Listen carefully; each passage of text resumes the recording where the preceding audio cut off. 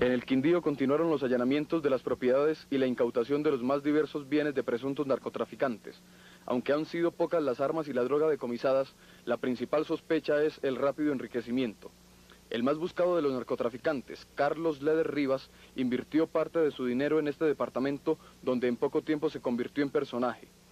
En un inventario obtenido por las autoridades, Leder Rivas, además de una isla en las Bahamas, Cayo Norman, posee otras 25 grandes propiedades raíces, fincas y casas donde funcionaron sus empresas.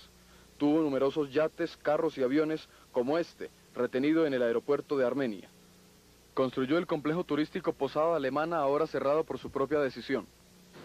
Cerca de 300 familias en el Quindío han resultado afectadas por el cierre de los negocios del señor Carlos Leder. Además tienen serios problemas para el pago de las prestaciones sociales.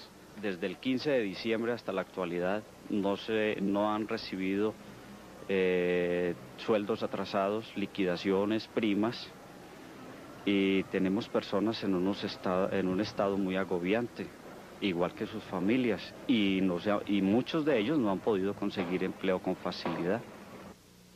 En 1982, Leder se lanzó a la política creando el Movimiento Latino Nacional, cuya principal bandera es la lucha contra la extradición.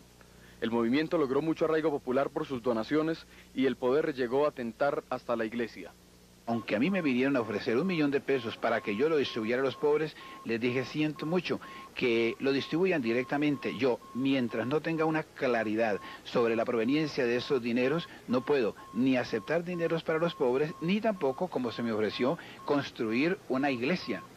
Después de la aprobación de su extradición, Carlos Leder de la justicia y al parecer se encuentra en algún lugar de Sudamérica.